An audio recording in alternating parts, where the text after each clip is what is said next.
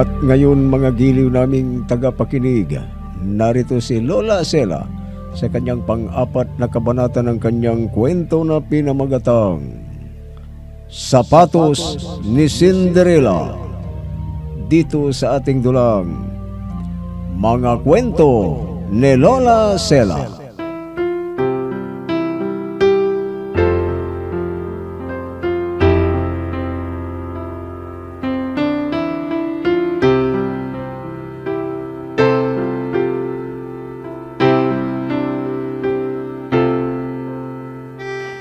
May masamang binabalak si Nene kina Cindy. At binuking niya si Cindy na siyang nagbigay kina Edot at Ann ng mga gawang sapatos para di mapagalitan dahil may lagnat si Ann. Kaya di sila nakagawa. May nagpunta nga na tauhan ng DSWD para alamin kung totoo nga na may mga bata na nagtatrabaho sa pabrika ng sapatos. Nagulat si Miss Burang at nagsinungaling siya na wala na ang kanyang pabrika mula ng nasunog. At si Nene naman, sinabi niya na ang nagsumbong ay si Cindy. At may balak si Nene na kunin ang ginawang sapatos ni Cindy. Ah,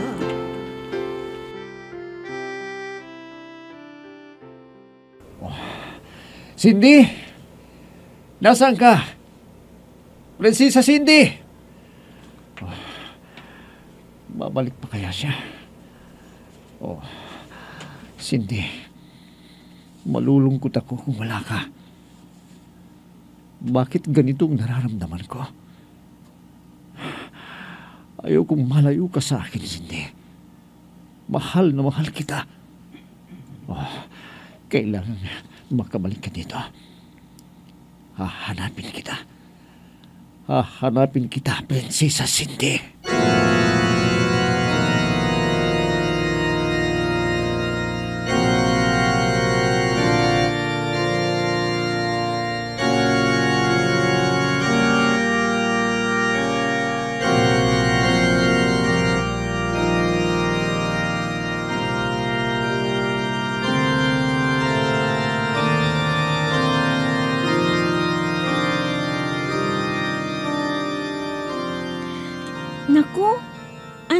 Ng singsing.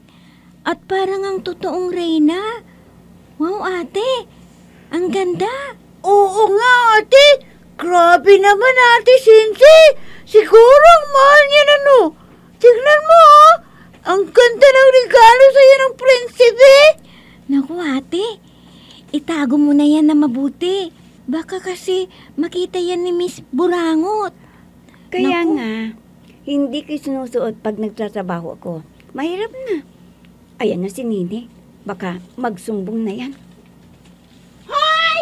Anong ginagawa niyo dyan?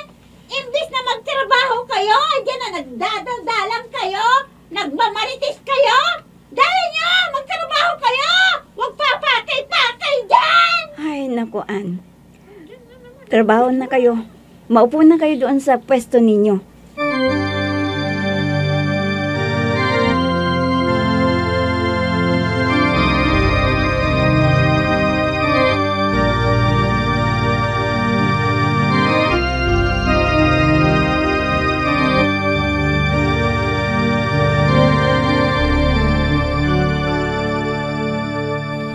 Sige na, ate Cindy.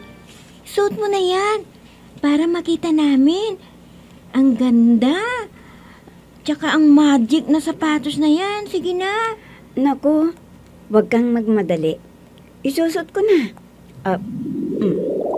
Ayan, sinuot ko na. Wow! Oh, ate, bakit hindi ka naglaho? Sabi mo, magiging prinsesa ka pag sinuot mo yan. Ah, ewan ko nga ba. Bakit di umubra ang magic ng sapatos?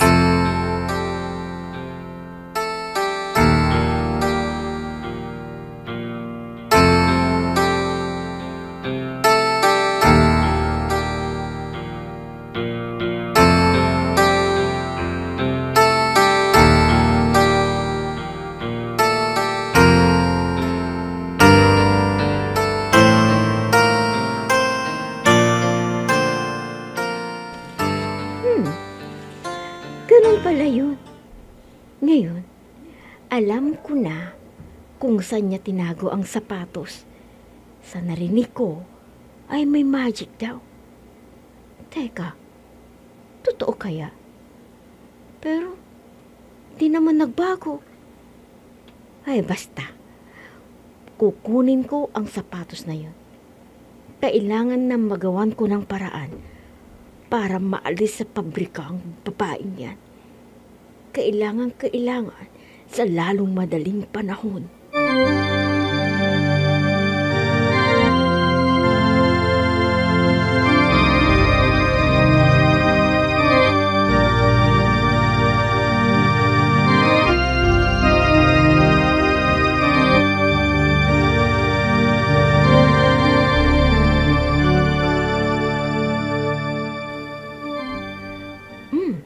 ayun. Nakita ko na ang kahon ng sapatos. Nakita rin kita, ha? Wow! Ang ganda nga. Marunong ka palang gumawa ng mamahaling sapatos. Sa totoo lang, ang ganda. Ah, teka. Maisuot ko nga. Baka bagay din sa akin. Susuot ko ang sapatos. Ayan. May magic daw to eh. Oh. Ano to? Bakit ganito? Ha? Hindi. Naku. Ay! Ay! Ah! Ay, bakit? Ah, bakit di ako tu- tumitigil sa kakaigot?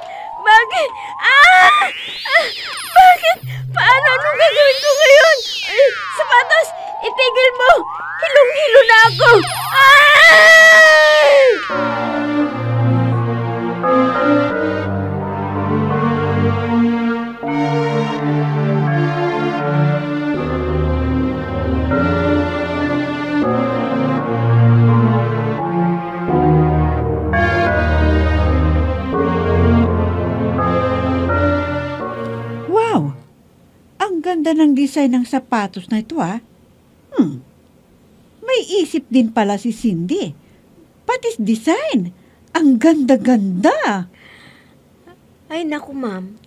Alam mo, alam ko na may nagsulsul kay Cindy na gawin ang sapatos na yan. Baka may order. Eh, syempre, may ibang racket para kumita siya. At sino naman aber ang magsusulsul kay Cindy? Aba naman, syempre, sino pa? Di ang mga naiinggit sa'yo.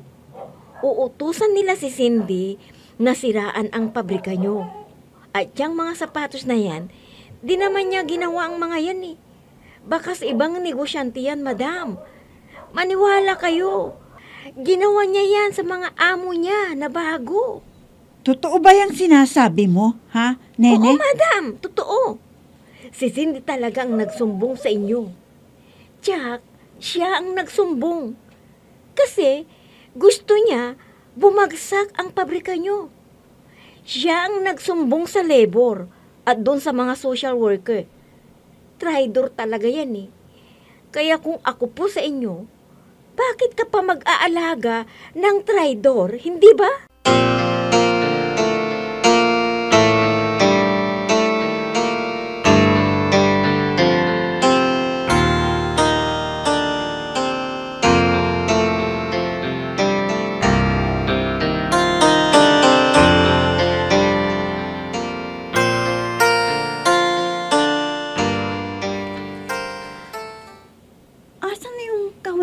Sapatos ko? Ah, ayun. Hinahanap mo to? Yung bang sapatos mo? Na parang sinasaniba ng masamang espiritu? Bakit mo alam, ha? Ikaw ang kumuha nun dito, no? Nene, ibalik mo sa akin yung sapatos ko. Asan? Importante sa akin yun.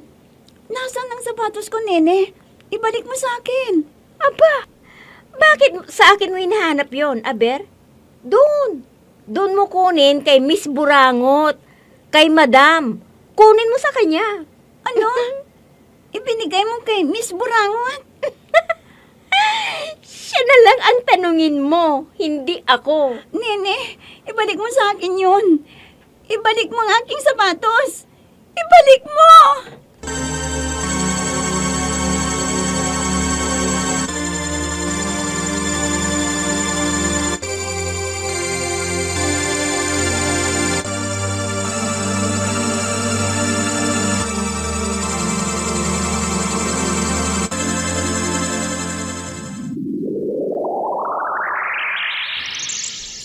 Cindy!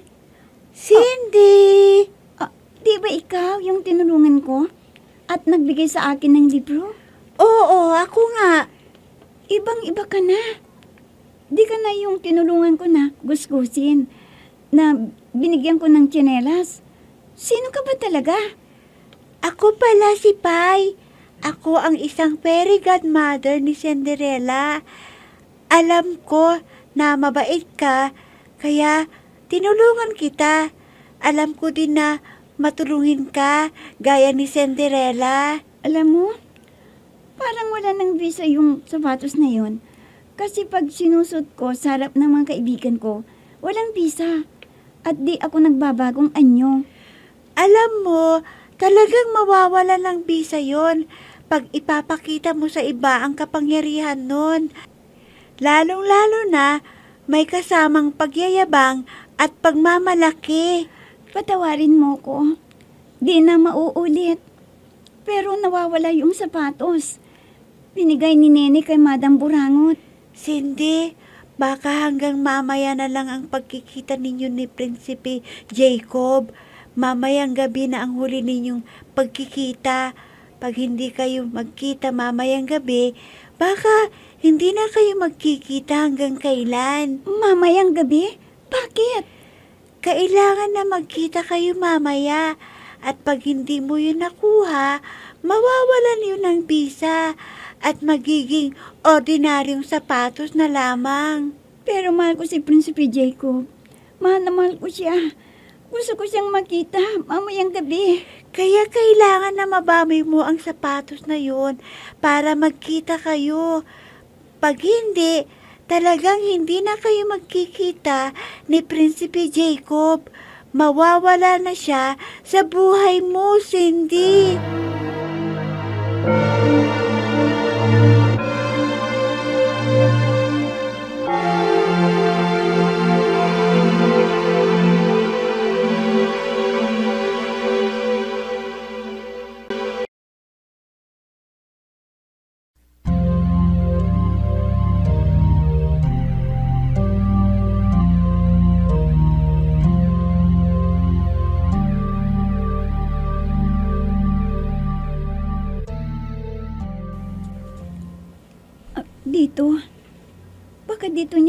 Tinago.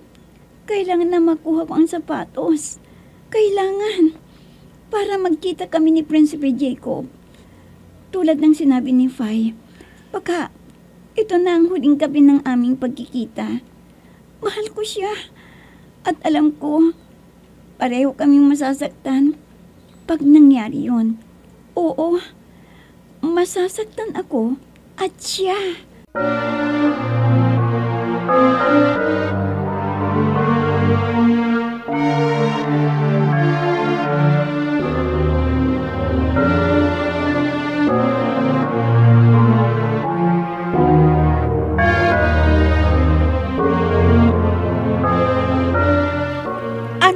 ginagawa mo dito? Bakit ka nandito sa opisina ko? Ninanakawan mo ako, no? Hindi po. Binabawi ko lang ang sapatos ko. Ah, alam ko na. Ikaw ang nagsumbong sa mga pulis, ano? Ikaw nga, hindi ako pwedeng magkamali. Anong nagsumbong? Wala pa akong ginagawa na masama. Kinukuha ko lang ang sapatos ko. Kulasa! Kulasa! Kunin mo nga ang sapatos! Bilisan mo! Kulasa! Bingi-bingi naman ang babaeng ito. Ah, akin na yung sapatos! Kailangan akin na! isuot ko ang sapatos na ito. Ah, ah, mm, ayan, naisuot ko na. Ha? A- ano nangyayari sa kanya? Cindy! Cindy!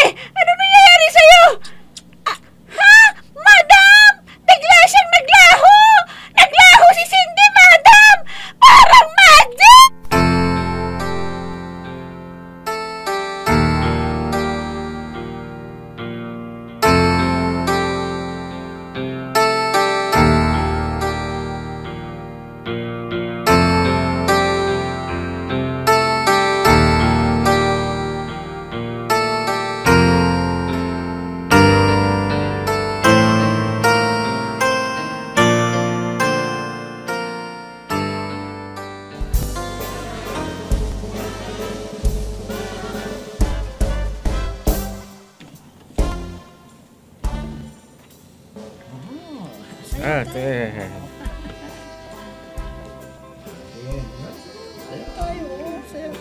Aking anak, sino yung napakaganda na babae na kasayaw mo?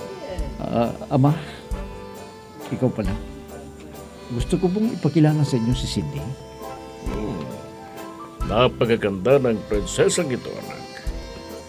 Ang kinagagalak ko po kayo makilala. Mahal na hari. Ah, sandali lang. Tatawagin ko ang mahal na reyna.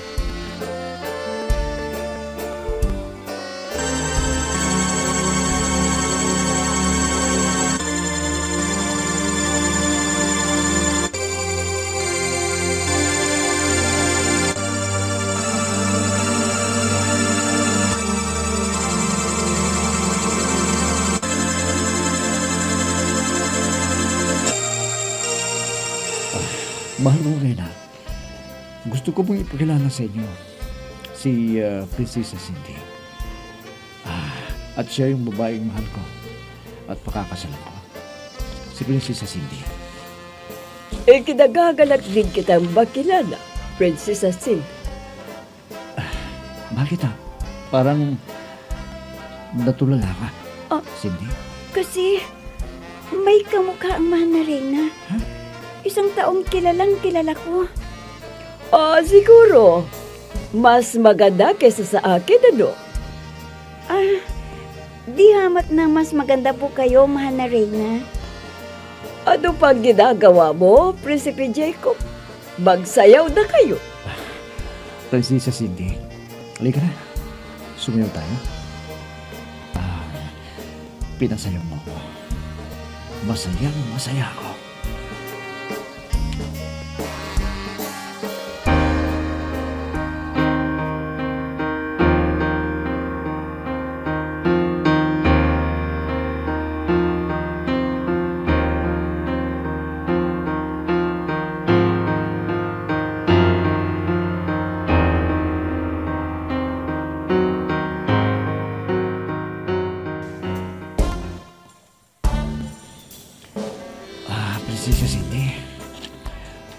Mong sabihin na aalis ka na naman. Hindi na ako makakapayag na umalis ka ulit. Di ba sinabi ko na sa'yo na di ako totoong prinsesa? Ito. At ito na rin ang huli nating pagkikita. Hindi ako makapapayag na aalis ka. Mahal na mahal kita. Pinakilala kita sa mga magulang ko. Hindi ba? Huwag mo na akong iwan. Huwag kang umalis. Pero di tayo magkapareho. Mahal kita. Huwag mo na akong iiwan. Mahal na mahal din kita.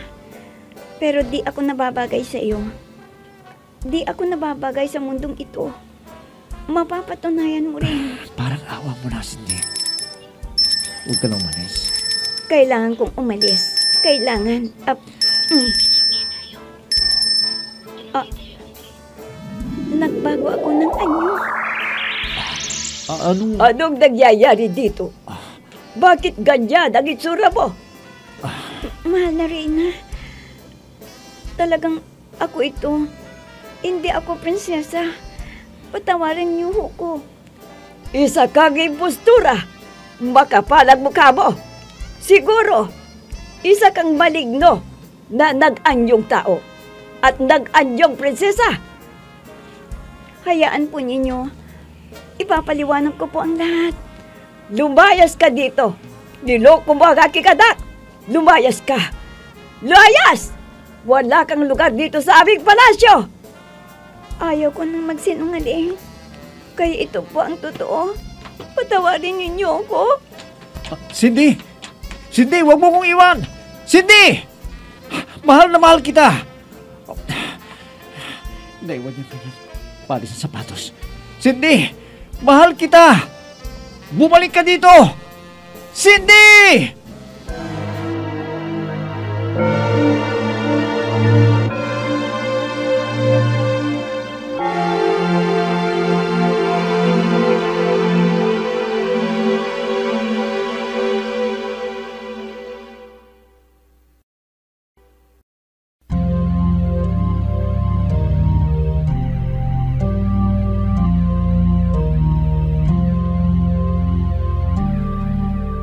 Mapipigilan pa kaya ni Prinsipe Jacob si Cindy? Magiliw naming tagapakinig, abangan ang huling kabanata ng ating kwento na pinamagatang Sapatos ni Cinderella dito sa ating dulang. Mga kwento ni Lola Sela Mga nagbigay buhay sa ating dula Myra Abrihal Narnola. Susan Malignum Ami Diaz. Oscar Ora. Robert Di Guzman. Jun Cabato Eva Alcoreza. Technical Supervision at Musika. Oscar Ora. Nilapatan ng tunog Robert Di Guzman Sa panulat at direksyon Amos Iglesias. Mga kwento ni Lola Sela. Inihahandog ng IFRE Recording Studio para sa pambansang radyo ng Pilipinas Bombo Radio Philippines